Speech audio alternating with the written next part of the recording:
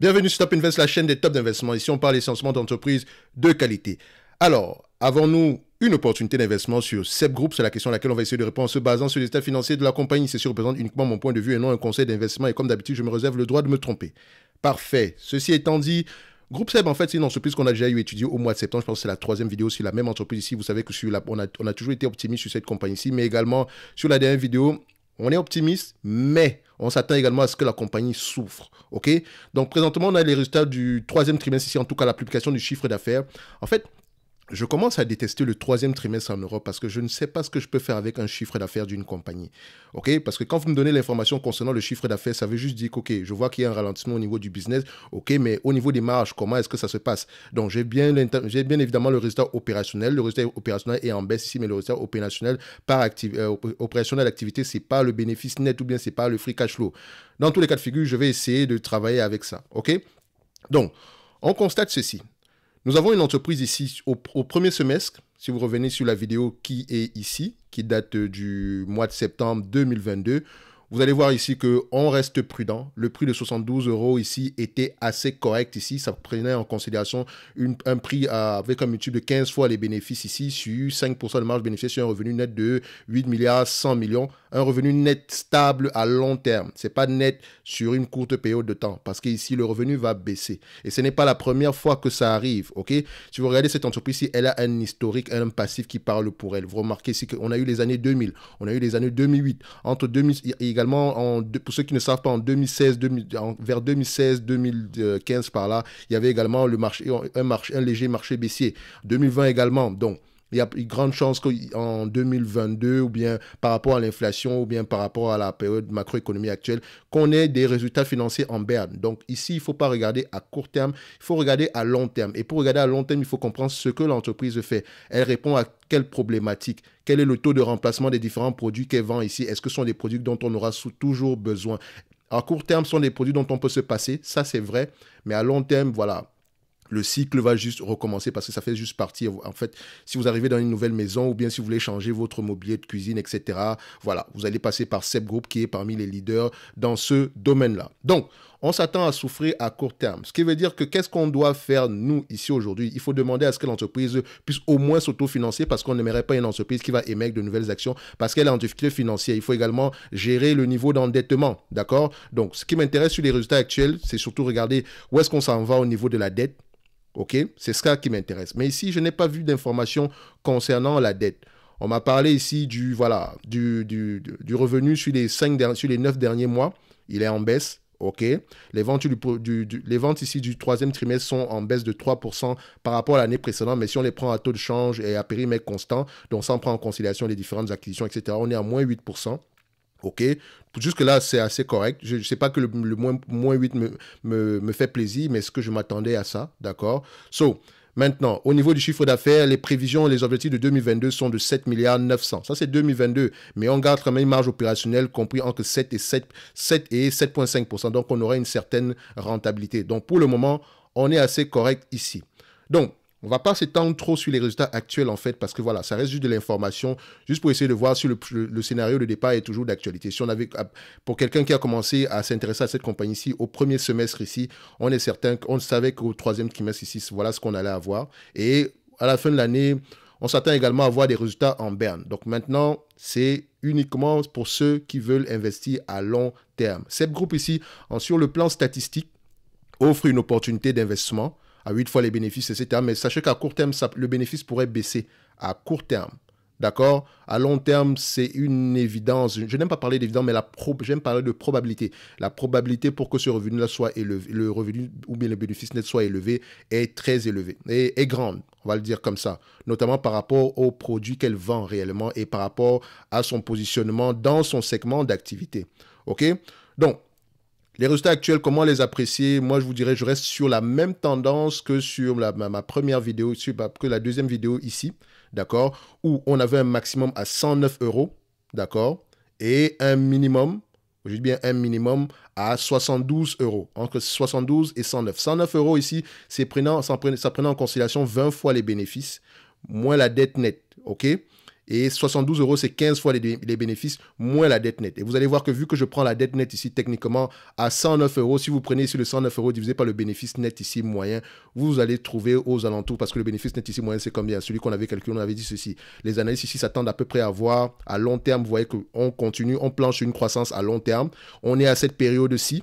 Ok, si on planchait, si on planchait ici sur une décroissance, voilà, on pouvait s'ajuster en conséquence. Mais il faut également savoir que tout va également dépendre du, de la sévérité ici du marché baissier ou bien de, la macroéconomie en général. D'accord? Donc, il faut faire attention également à ce niveau-là. Donc, ces chiffres-ci pourraient changer. Donc, si vous prenez position sur cette compagnie-ci, c'est pas pour, ne vous attendez pas à faire du, à, faire du, voilà, de la performance demain ou après-demain. Non. Quand je dis demain, c'est l'année prochaine ou bien l'année sur prochaine. Non. Au moins dans les deux, sur les deux prochaines années, vous allez souffrir. Ce qui devrait être intéressant ici, c'est est-ce que l'entreprise a la capacité de pouvoir revenir à ses bénéfices nets moyens? La réponse est oui, mais la confirmation pourra seulement arriver par rapport à vos lectures. Parce que si vous ne comprenez pas ce que l'entreprise fait, il sera difficile pour vous de maintenir une position à long terme. Je dis bien ceci. Si vous ne comprenez pas ce que l'entreprise fait, il sera difficile pour vous de maintenir une position à long terme. Parce que ici, ce n'est pas juste une affaire de chiffres. Les chiffres actuellement, c'est ce qui s'est déjà passé.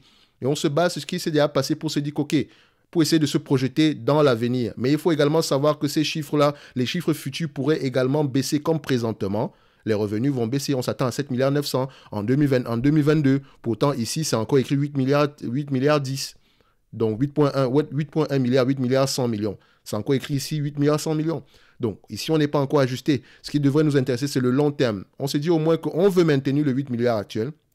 On veut au moins le maintenir. Et si on le maintient, voilà ce qui se passe. Si vous, vous faites ici 810 millions, donc, donc excusez-moi, 8 milliards 100 millions multiplié par 5% de marge bénéficiaire pour cette compagnie-ci, fois 20 fois les bénéfices, vous allez comprendre pourquoi, même si je sais que cette compagnie-ci ne va pas s'échanger à 20 fois les bénéfices, moins la dette nette, donc la dette nette c'est 2 milliards 100 millions, en tout cas au dernier calcul ici, sauf si ça a changé, excusez-moi, on va juste vérifier ça ici, enfin 2 milliards 470 millions, ok, on va 2 milliards 470 millions, moins 2 milliards 470 millions, moins 2 milliards 470 millions. OK, ça fait 5 milliards 630 divisé par le nombre d'actions à 55 millions d'actions, 55.5, on va le faire comme ça. Ça fait à peu près 101, 101 dollars l'action. Vous avez vu C'est 101 dollars l'action. Maintenant, en termes de PER, ça donne combien?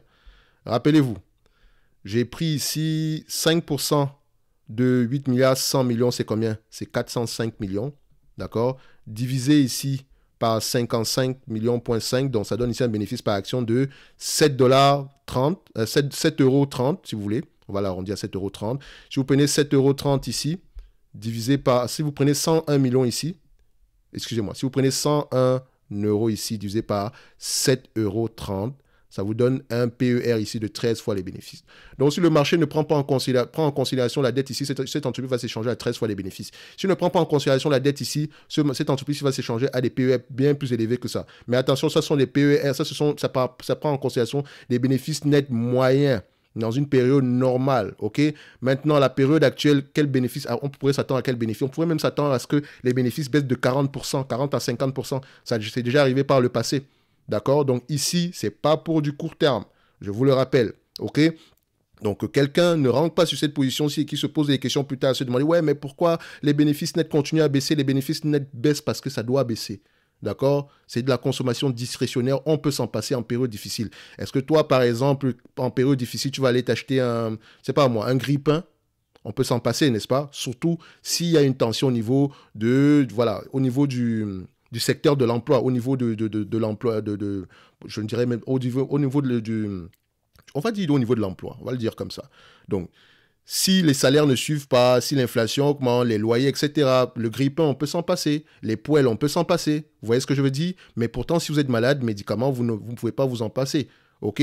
Les, examens médicaux, vous ne pouvez pas vous en passer. OK? Voilà, Le shampoing, vous ne pouvez pas vous en passer. D'accord? La cigarette, vous n'allez peut-être pas pouvoir vous en passer. Ou bien l'alcool. En période, difficile, l'alcool se vend très très bien. OK?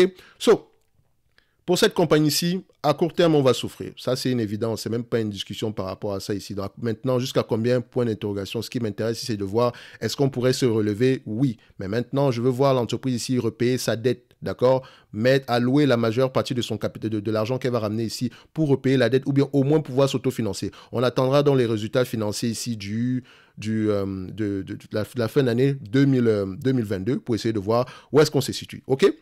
Donc, c'est à peu près ça que je pourrais dire par rapport à cette vidéo, par rapport à, Seb, à Groupe Seb ici, qui est une compagnie que je continue à aimer. Le dividende ici n'est pas, voilà, il n'est pas en danger de toutes les façons. Vous avez 405 millions ici potentiels en moyenne, 405 millions, divisé par la capitalisation boursière actuelle qui est à peu près de combien? Capitalisation boursière actuelle, c'est 3 milliards, divisé par 3 milliards 440 millions ici, d'accord? Ça donne à peu près un rendement de 11%. On vous paye ici 3 dollars 92, on vous paye ici 3,92% en date d'aujourd'hui. Même si vous baissez de moitié ce bénéfice net là par action, vous serez toujours à 5%. Donc, le dividende n'est pas un problème ici. Il pourra continuer à être payé ici. Au moins être stable dans les années à venir. OK? Donc, pour ceux qui investissent ici pour le dividende, voilà, il y a de grandes chances que ce dividende-ci reste stable. Mais la compagnie également peut se réserver le droit de le couper. D'accord? Donc, ça ne me dérangerait pas si elle le fait. Ce qui m'intéresse ici, c'est si, quelle, est la capacité de souffrir et de résister dans le futur, et, ainsi que les perspectives d'avenir. Est-ce qu'elles sont bonnes à long terme? Et quand je parle de long terme, je parle de 5 à 10 ans. Oui, elles sont bonnes, elles sont stables. OK? Donc, je vais m'arrêter là pour Seb, les objectifs de prix, etc. Je reste sur la même tendance que la première, que la, vidéo que j'ai faite ici le, le, 2 du mois de septembre. Donc, vous pouvez aller la suivre ici. Donc, pour ceux qui viennent d'arriver sur cette compagnie-ci, si elle vous intéresse, vous pouvez aller regarder la vidéo du 2 du mois de septembre 2022. Sinon, aujourd'hui, les résultats actuels, voilà, le chiffre d'affaires, c'est juste une indication que, bon, cette année, ça va être assez difficile. Bon, bon bah, c'est à peu près ce qu'on nous a dit au premier semestre ici. Donc, il n'y a rien de nouveau présentement ici. Donc, on va se donner rendez-vous sur la prochaine vidéo et d'ici là, portez-vous bien. Merci.